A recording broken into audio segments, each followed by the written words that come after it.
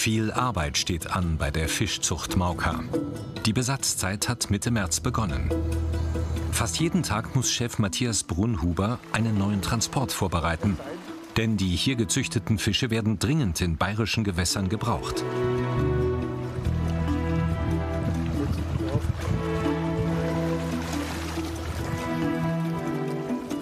Also wir haben hier die Bachforellen eingeladen. Das sind zweijährige Fische.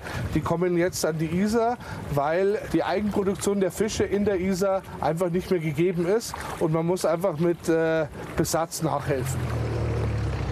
Die Bachforellen werden vorsichtig in den Transportbehälter gespült. Alles läuft wie am Schnürchen. Fischwirtschaftsmeister Matthias Brunhuber kümmert sich um die Technik. Hier müssen wir den Sauerstoff noch einstellen, äh, richtig, damit die Fische auch alle lebend zum Transportort kommen. Als vor 100 Jahren die Forellenzuchtanstalt Mauker vom Landesfischereiverband Bayern übernommen wurde, transportierte man die Besatzfische noch in Holzfässern.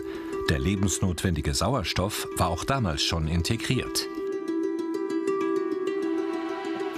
An der Garchinger Brücke sollen zuerst die vom Aussterben bedrohten Eschen in die Isar eingesetzt werden.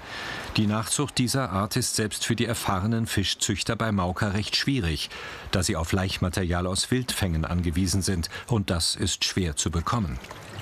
Durch die fischfressenden Vögel etc. ist die ganze Population verschwunden eigentlich. Und dann haben wir die Verbauungen. Überall können die Fische nicht mehr aufsteigen. Die Laichplätze sind nicht mehr sauber. Das spielt alles mit bei der Esche, die da sehr empfindlich ist, spielt das da alles mit rein.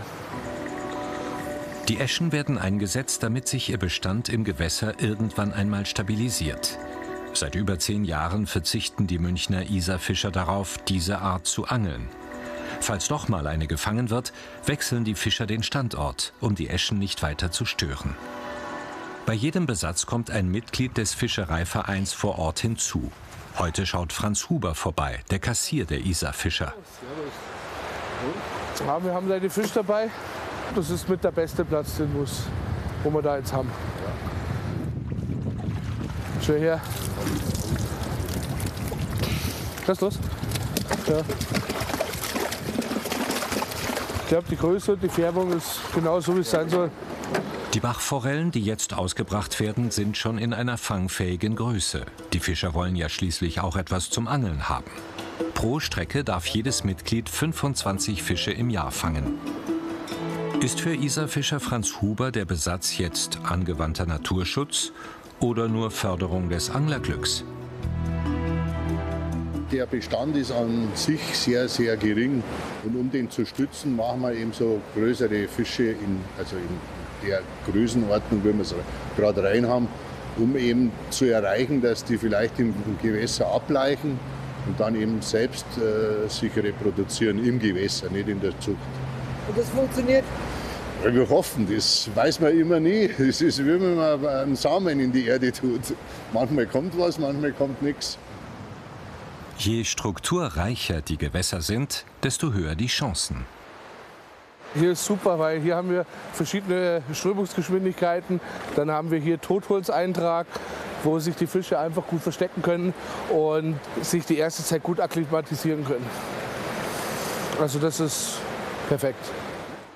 Arbeit macht hungrig. Matthias Brunhuber geht gern zum Neuwirt nach Ismaning, denn da weiß er, woher die Fische aus den eigenen Teichen der Gastwirtschaft stammen. Gut schaut aus, gell? Sehr gut.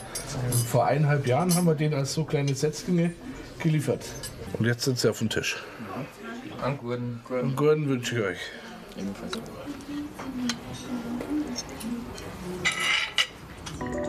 Zurück zur Fischzucht Mauka. Rasen mähen muss hier niemand. Das besorgen schon die Kamerunschafe, die hier leben. In den über 40 naturnahen Teichen werden Besatzfische aus der Nachzucht von heimischen Beständen und von wildlebenden Fischen aufgezogen. Um die genetische Vielfalt zu erhalten, werden die Zuchtstämme getrennt voneinander vermehrt. Bis zu 250 Kilo Fischfutter werden hier täglich ausgegeben. Damit in der Anlage nichts schief geht, wird rund um die Uhr alles genau kontrolliert. Bei uns wird zum Beispiel jede Minute Sauerstoff gemessen, um den richtigen Gehalt äh, zu ermitteln und da zu haben, damit das Futter auch optimal verwertet wird. Äh, wir wohnen alle hier, zumindest der Großteil. Es kann in jeder Sekunde irgendwas passieren. Motoren können ausfallen, Sauerstoffmangel, Sonden fallen aus, dass man immer vor Ort ist und sofort reagieren kann. Seit 2001 arbeitet Matthias Brunhuber hier und gehört schon fast zum Inventar. Mir gefällt es, ich möchte auch keinen anderen Job machen und freue mich eigentlich jeden Tag, wenn ich hier raus kann zum Arbeiten. Und das ist die Schatzkammer von Mauka. Der Laichteich mit Goldforelle, Regenbogenforelle, Bachforelle und Seesaibling. Im Winter wird der von den Elterntieren gewonnene Laich befruchtet und die Eier im Bruthaus großgezogen. Hier gelten strenge Hygieneregeln, damit Bakterien, Keime und Parasiten die Aufzucht nicht gefährden.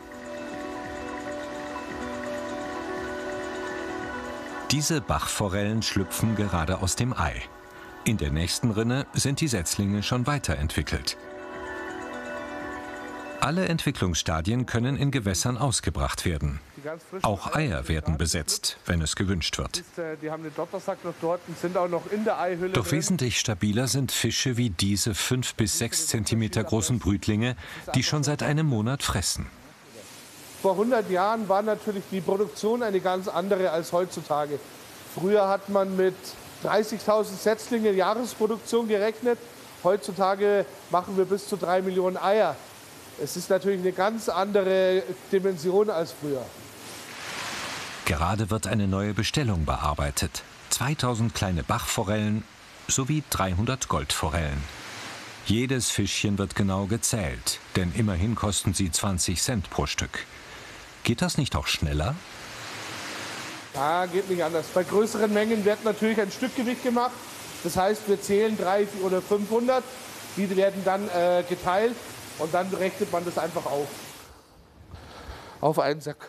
Die Teichbesitzer warten schon auf ihre Ware, die von Lehrling Sebastian Daschner fachgerecht verpackt wird.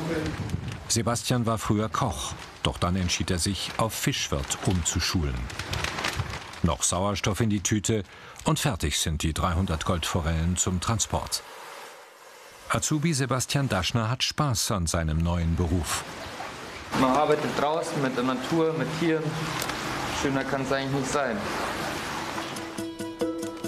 In einer Stunde werden diese Fischlein schon im Teich in Leitendorf bei Landshut schwimmen. Die Teichwirte sind alte Stammkunden, die schon seit Jahren auf die Qualität der Besatzfische hier vertrauen.